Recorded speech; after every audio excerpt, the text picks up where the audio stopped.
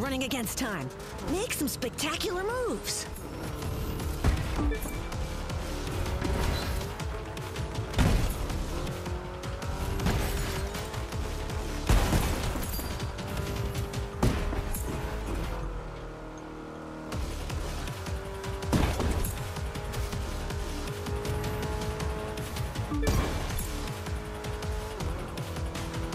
Lost any